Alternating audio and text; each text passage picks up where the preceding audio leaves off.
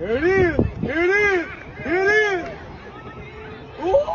The hell, Donovan? You beat Ronovan in a race? Yes, I did. But but Ronovan, you run a 4-4-3, don't you? Yes, I do. So how did Donovan beat you when Donovan runs a 4-5-6? Well, coach, that time is from the summer. I have a speed trainer now. Oh, shit. Nice. Now he's fast. My last 40 was a 4 3. Crap! God dang it!